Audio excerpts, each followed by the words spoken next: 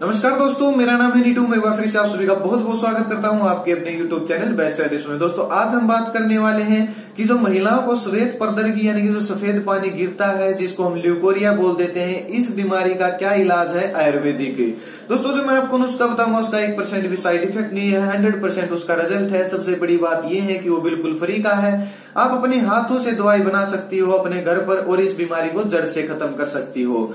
दोस्तों, पहले आप जान लीजिए कि ल्यूकोरिया, यानी कि सफ़ेद पानी होता क्या है। बहुत सारी फीमेल्स ऐसी होती है, बहुत सारी क्या दोस्तों 80 परसेंट फीमेल्स को ये प्रॉब्लम है, क्योंकि खान पान कुछ ऐसा चल गया है और ये होता क्या? है ये दोस्तों वेजाइना के थ्रू एक डिस्चार्ज होता है सफ़ेद कलर के पानी का।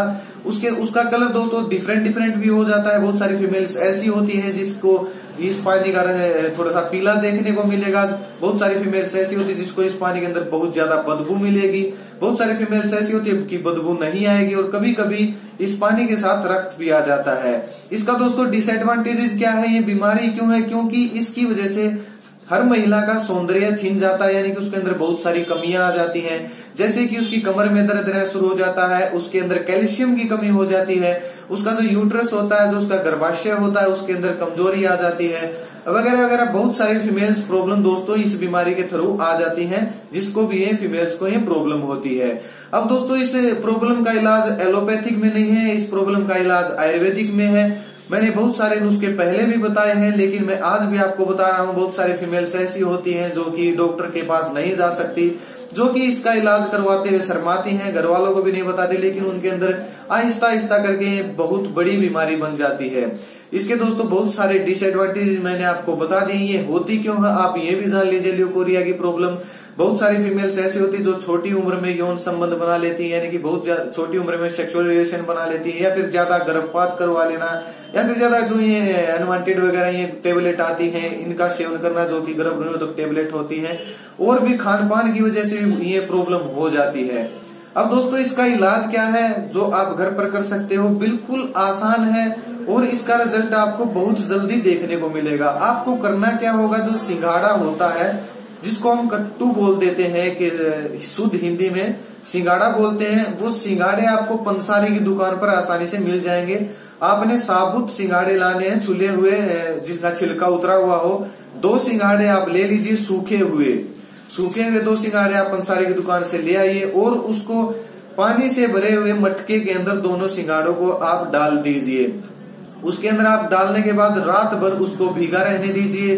सुबह उठने के बाद दोनों सिंगारों को, यानी कि दोनों कट्टूज को आप निकाल लीजिए और निकालने के बाद उनका पीस कर, यानी कि उनका मलम बना लीजिए या फिर उनका पाउडर फॉर्म बन जाएगा, उनकी मलम सी बन जाएगी।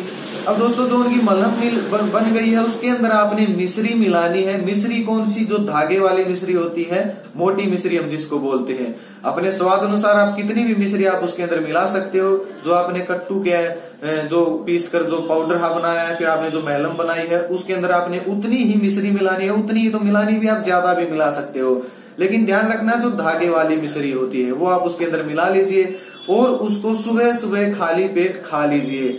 कुछ भी नहीं खाना, पानी तक नहीं पीना, सुबह सुबह खाली पेट उसको खा लीजिए। ऊपर से एक गिलास गाय का मीठा किया हुआ दूध पी लीजिए और ऐसा आप लगातार कितने भी दिन तक कर लीजिए। दोस्तों, मैंने बड़े आराम से बताया, आपको बड़ी जल्दी आराम होगा।